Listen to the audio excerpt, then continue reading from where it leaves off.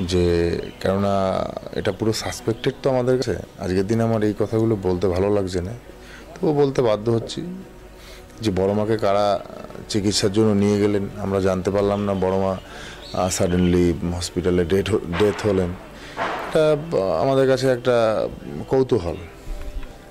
এবং কল্যাণীতে আমাদের কাউকে ঢুকতে দেওয়া হলো না প্রথমে।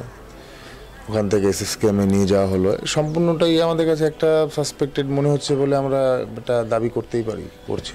কিন্তু আজকের দিনে আমার এটা হ্যাঁ?